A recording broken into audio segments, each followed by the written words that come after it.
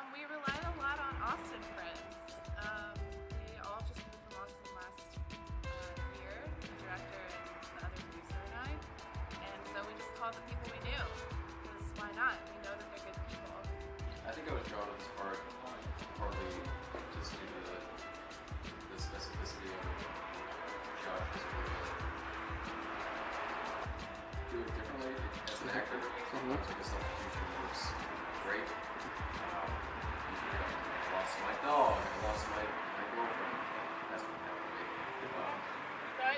but It's a cut. uh, music and festival can be worse sometimes, and sometimes it's best to be in that moment with the character and try and approach things as fully from his point of view as possible. So the scene we're shooting now, uh, the character of Josh walks past this uh, furniture store and there's this woman trying to communicate with the store owner, um, but it's difficult because she's deaf and the store owner is not having it. He's yelling at her,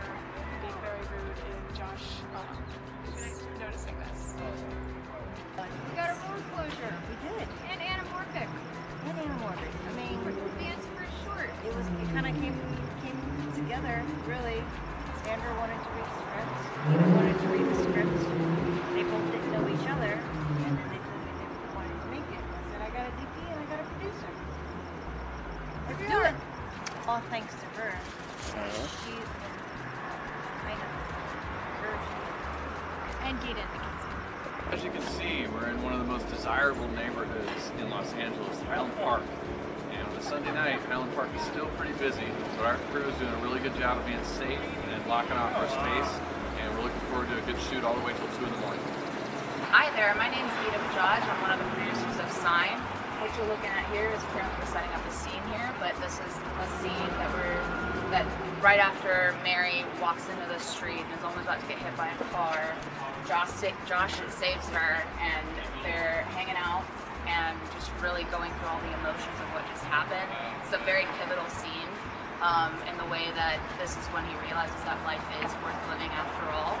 Um, she saves him and he saves her, and it's just a really beautiful moment. I really like the emotional journey that Mary ends up going through, where she finally finds somebody that she can communicate with, oh, that someone that really cares. Well, our lead is about to almost get hit by a car, but is dramatically saved at the last second. Thank God. Cool, it's a dolly shot, so we're going to be cameras pulling back as the oh, actress okay. is walking oh, towards it. We're going to see someone save a life in a few minutes. It's going to be fantastic.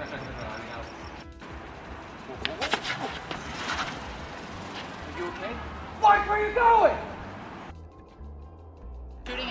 Oh, it's it's been a beast.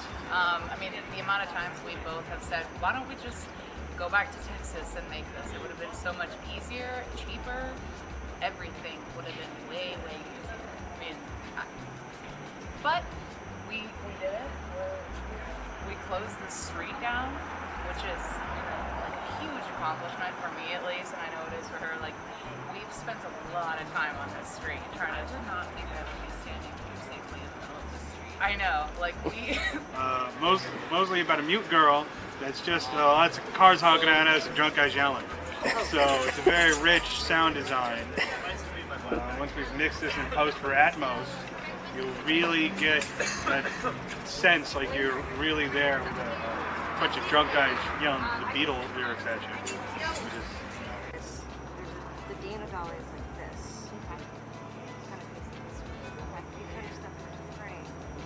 The car's gonna be waiting right here.